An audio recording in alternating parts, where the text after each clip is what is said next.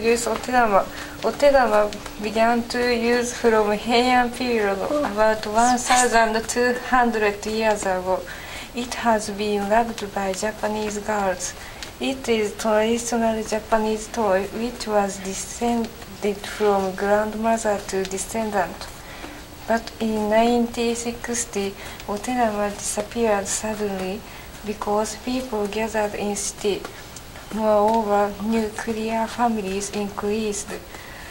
But it prevents people from soft, softening of, the- of the brain. So today, people try to spread it.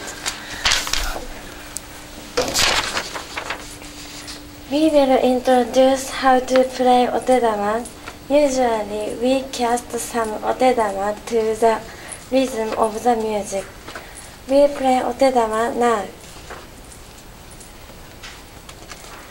Otedama can play from baby to old people. Let's try.